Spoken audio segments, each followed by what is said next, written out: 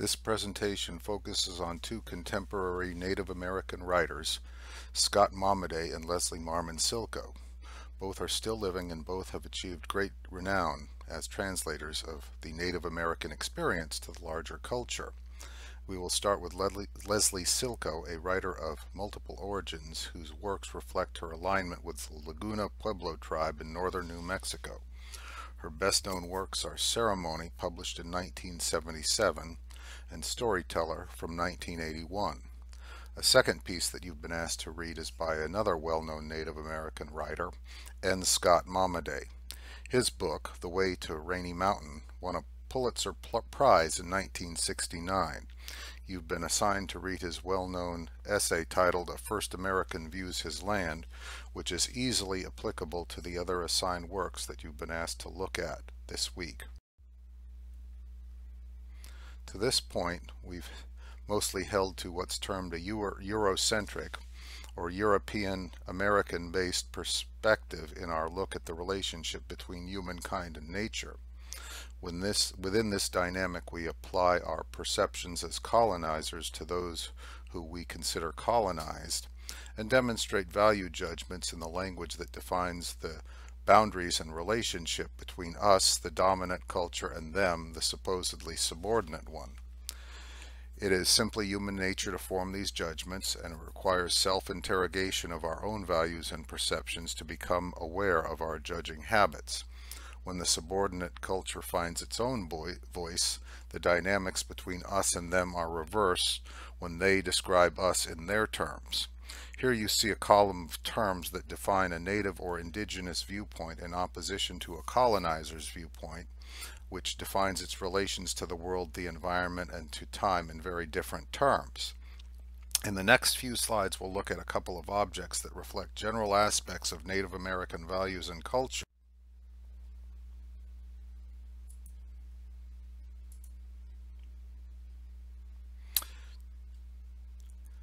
For these next few slides, it is helpful to keep in mind that you are a Google search away from finding out more about anything that might make you curious. To begin, here are a couple of images that I've gotten good use of out of over the years. These are Native American sand paintings, which are generally made by tribes in western states. The artists use dyed sand instead of paint to create these intricate ceremonial drawings, which have religious and ritual significance to the members of the tribe. In stark contrast to the view of art as something eternal, fixed, and permanent, here the sands of varying colors are applied carefully but without any adhesive to a surface and then left to the elements where they, are eventually, where they eventually deteriorate. The artists develop reputations based on their skill, the skill of their work, and even today they can become well known for their elaborate designs. Notice both images are ringed and both have 12 feathers positioned around symmetrically in groups of three. If you think about it, those might represent the equivalent of months of the year.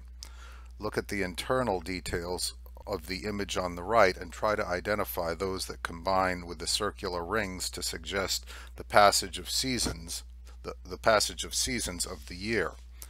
Then look at the image on the left. You might notice that the figure inside combines aspects of earth and sky, day and night, male and female, and other opposing dimensions that come together in this single figure.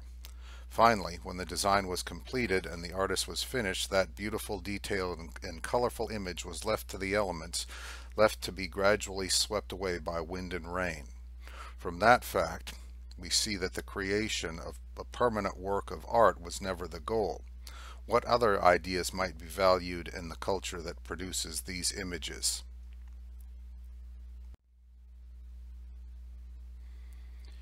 Here's another image, that of the storyteller doll. These dolls are often ceramic but can be made from other materials as well. What is the gender of the figure in the middle? Does that detail differ between the images? What is the age of the larger figure in relation to the smaller figures that uh, sit on its sides? What family event is represented here? In the absence of formal schooling as we Westerners understand the idea, what educational functions are being demonstrated here within this tribal context?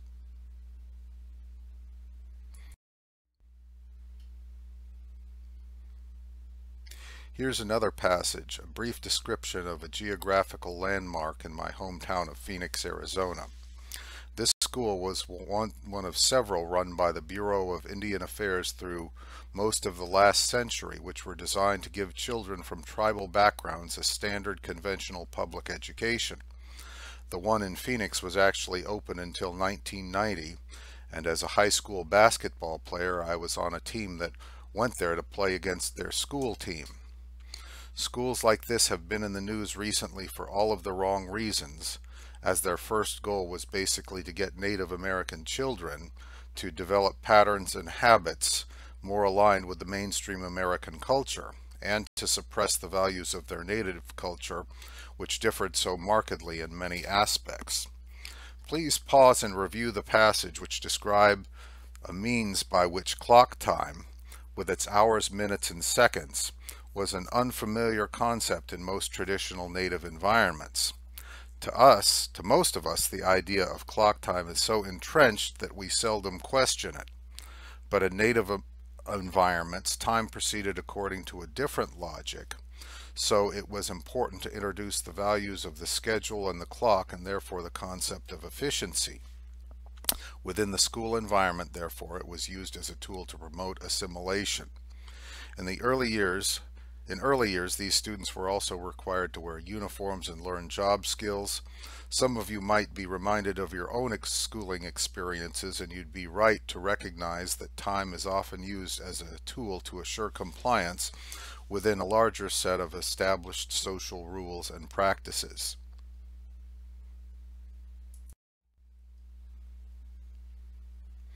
In those last three sides, you see aspects of a culture that values process over permanence, regards storytelling as a highly important family and community activity that unites the generations, and that values natural and seasonal time over a more rigorous concept of clock time. That brings us to today's first reading, which is taken from the Iroquois culture of the American North, Northeast. A word of caution, this reading won't make a lot of sense with a first look, as it was never meant to be written down and contains, contains concepts that are foreign to our modern American viewpoints.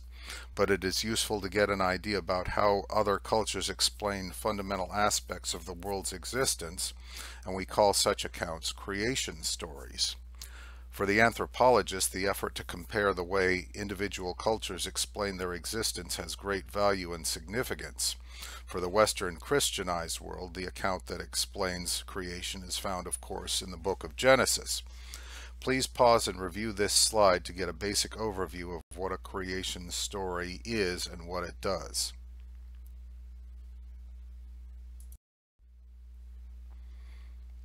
Here are some aspects of creation stories of all kinds, including Genesis, the one fundamental to main, Western mainstream Christianity.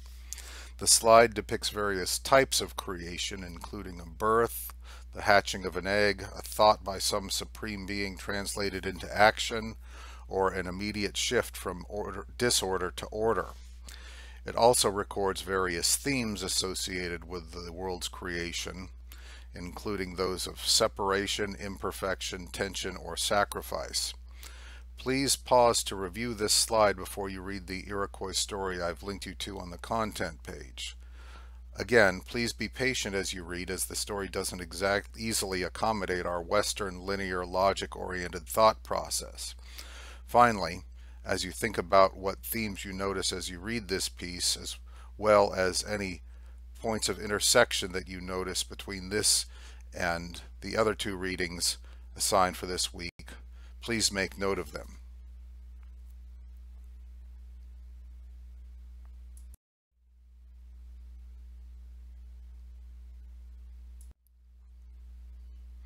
The first of those readings is Scott Momaday's First American essay. A quick look at this piece in your textbook would be appropriate at this juncture, as would a quick review of his biographical thumbnail sketch provided by the textbook editors. You'll notice how Momaday articulates a relationship to the land that differs from that of mainstream American viewpoints and is shaped by native values which tend toward the mythic, the cyclical, and the spiritual, spiritualized. Once you finish this piece, please stop and consider the questions posed on this slide, and also whether you note any connections between the points Momaday makes here and any aspects of the Iroquois creation piece that you've also read.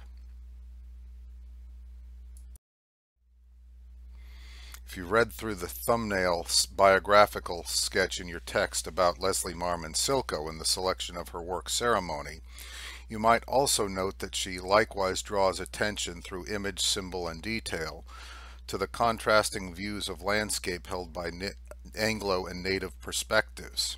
A landscape that is managed, fenced, boundaried, and used according to a colonialist, colonialist ethos is held in contrast uh, to a restorative and spiritualized view of space within the indigenous mindset. And that's why the shell-shocked Tayo, the story's main character, is able to find solace and healing by reconnecting with these natural spaces.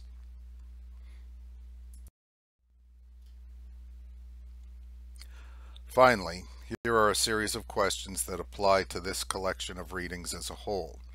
Please reflect on these questions as you consider the collective messages within the three readings and consider the relative strengths and weaknesses of both indigenous and Anglo viewpoints in relation to the distinctive environments that we all inhabit. For now, I'll thank you once again for your attention.